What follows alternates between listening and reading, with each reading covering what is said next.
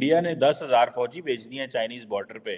वो एक नई लग रहा है कोई एस्केलेशन है 21 राउंड जो मिलिट्री डिप्लोमेसी के हैं वो नाकाम हो गए हैं। तरीका मुस्तकबिल की। उसका लुबे लुबाब ये था कि तमाम ममालिक को उनके साइज़ रकबे आबादी से कत नज़र एक जैसा ट्रीट करना चाहिए। Scalable AI computing ecosystem undertake development and deployment of indigenous large multimodal models promote AI applications in है कि भारत ने दस हज़ार फौजी उनको रीडेजिग्नेट किया है और उन्होंने इसको चाइनीज़ बॉर्डर पे भेज दिया है। के साथ सलूक एक जैसा होना चाहिए। किसी के खिलाफ जारहियत नहीं होनी चाहिए।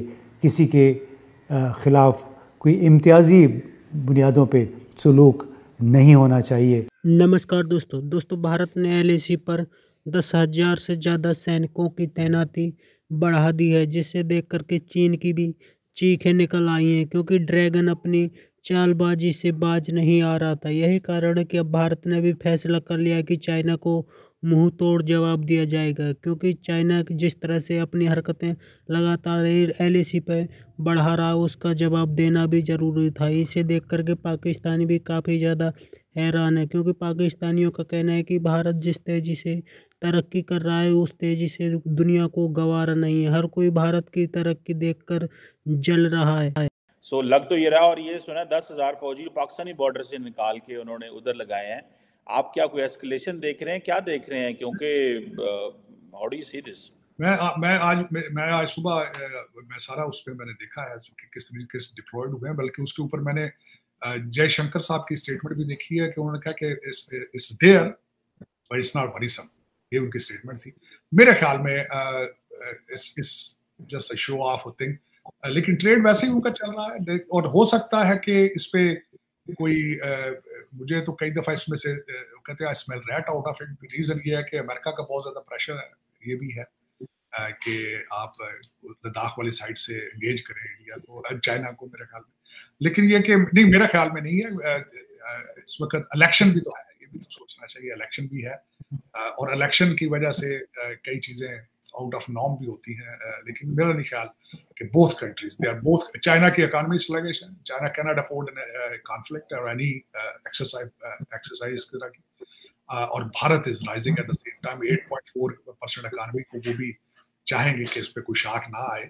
मैं नहीं समझूँगा कि both countries are very wise और बोथ कंट्रीज़ ने जो दोनों, भारत और चाइना के अंदर एक चीज़ जो कॉमन है, चीमा साहब शॉर्ट पीरियड के अंदर economy short very short Bharat की हिस्ट्री देखी जाए 1990 के बाद से आज तक सारा कुछ हुआ है और यही चाइना के अंदर भी हालात है। उन्होंने भी तकरीबन दो बीस से तीस सालों के अंदर इकानमी राइज की है। जिन लोगों ने इस तरह, जिनकी नज़र इकानमी पे हो, वो फिर कॉन्फ्लिक्ट में नहीं जाते।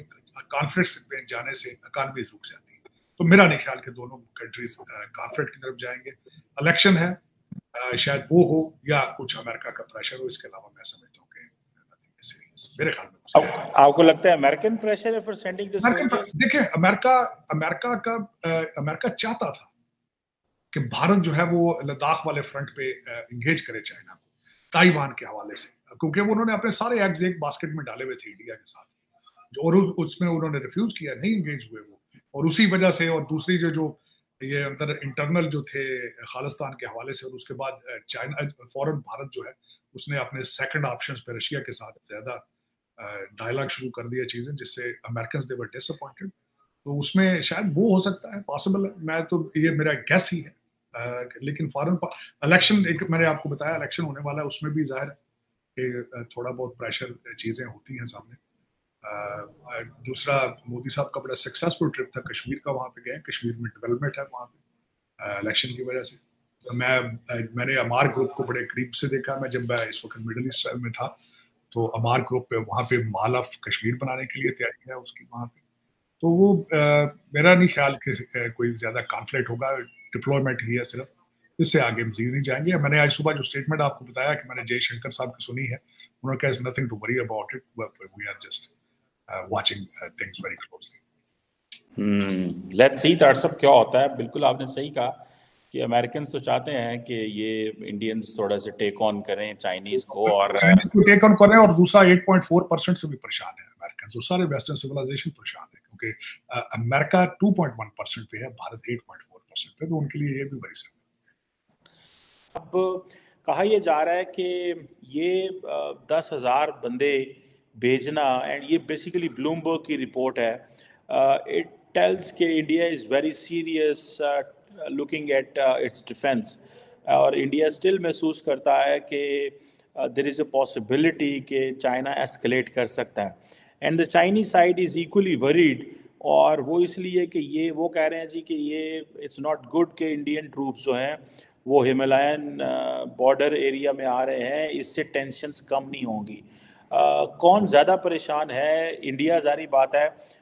India has a right in a sense कि वो अपने फौजी या ट्रूप्स बढ़ा सकता है।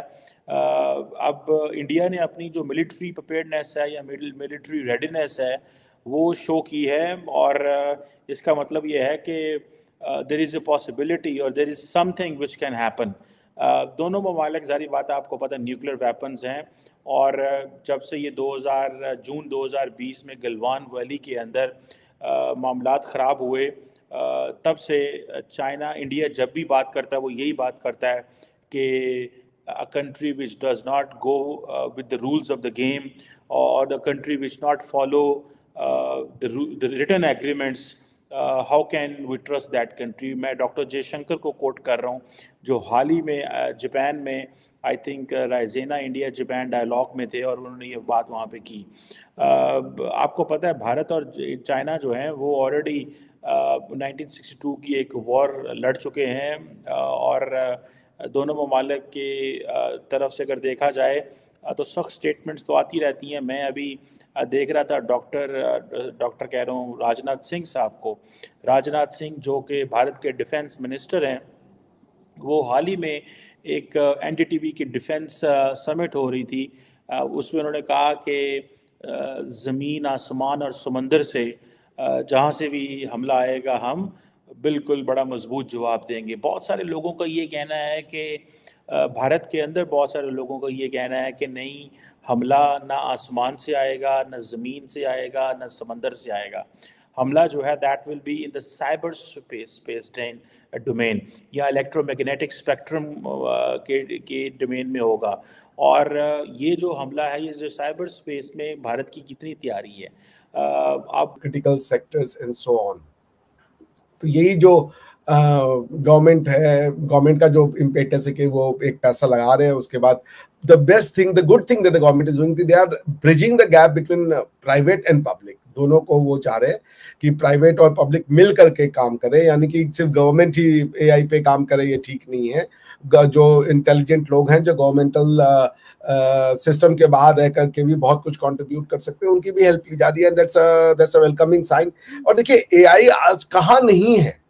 एआई आपके फ़ोन में है एआई आजकल चश्मों में है एआई आज के डेट में आप क्या आप you just name it AI every every everywhere तो जिस तरह सदर शी जिनपिंग के नज़रियात हैं, इसी तरह उस पर चलते हुए उसको मज़ीद एक लिहाज से उसको कहते हैं कि मज़ीद आर्टिकुलेट करने के लिए वज़ी ख़ारजा वांग यी ने यह भी कहा कि चीन ने अंदरूनी मामला में, यानी दूसरे मुल्कों के अंदरूनी मामला में अदम मुदाखलत, सियासी मामला को सियासी अंदाज में हल करने और गैर जानबदारी का जो नज़रिया, जो अप्रोच इख्तियार की थी, वो उस पर कायम और दायम है और उसकी ख्वाहिश है कि बाहमी एहतराम और अतमाद की बुनियाद पर बैन अवी मामला को आगे बढ़ाया जाए। इसके साथ, वांग यी ने कहा कि चीन अमेरिका ताल्लुक में कुछ बेहतरी आई है। नवंबर 2023 में सदर शी जिनपिंग और जो बाइडन यानी अमरीकी सदर के दरमियान सैन फ्रांसिस्को की मुलाकात के बाद से कुछ बेहतरी हुई, लेकिन साथ ही उन्होंने ये भी ख़बरदार किया कि चीन के बारे में अमरीकी गलतफहमियाँ मुसलसल जारी हैं और वाशिंगटन के वादे मुकम्मल तौर पे पूरे भी नहीं हुए। वांग यी ने कहा कि इन ताल्लुक को दोनों लोगों की, दोनों मुल्कों की भलाई और दुनिया के मुस्तबिल इंसानियत के मुस्तबिल के लिए बहुत अहम है। तो दोस्तों, एक तरफ़ चीन का पंगा अमेरिका से चल रहा है तो दूसरी तरफ़ चीन भारत से भी पंगा लेना चाहता है, क्योंकि चीन ने जिस तरह से एलएसी पर लगातार अपनी चालबाजी से बाज नहीं आया, उसका जवाब देने के लिए भारत ने दस हज़ार सैनिकों की तैनाती बढ़ा दी है, क्योंकि अब चाइना को मुँह तोड़ जवाब दिया जाएगा। चाइना को उसकी औकात दिखाई जाएगी, जिसे देख करके पाकिस्तानी काफ़ी ज़्यादा परेशान है, क्योंकि पाकिस्तानियों को अबू चीन इस वक्त पूरी तरीक़ा से इकॉनमिक हालात के बुरे दौर से गुजर रहा है। जैसे हालात पाकिस्तान के, वैसे ही हालात चाइना के। साजिद तरार का कहना है, यदि चाइना भारत के साथ उलझ जाता है तो चाइना की इकॉनमी पूरी तरीक़ा से बर्बाद हो जाएगी। क्योंकि भारत की इकॉनमी भी जिस तेज़ी से तरक्की कर रही है, उस वो किसी को भी अच्छा नहीं लग रहा यही कारण है कि जिस तरह से चाइना लगातार अपनी हरकतों को बढ़ा रहा है, उसके लिए भारत ने मुँह तोड़ जवाब देने की तैयारी कर ली है, जिससे देख करके पाकिस्तानी भी काफ़ी ज़्यादा परेशान है। साथ ही चाइनीज़ प्रेसिडेंट जिनपिंग की भी चीखें निकल रही हैं, आपकी कह रहा है कमेंट में ज़रूर शेयर करें। यदि आप पर नए चैनल को सब्सक्राइब करें। वीडियो पसंद आए तो लाइक करो, कमेंट करो शेयर करें। जय हिंद, वंदे मातरम।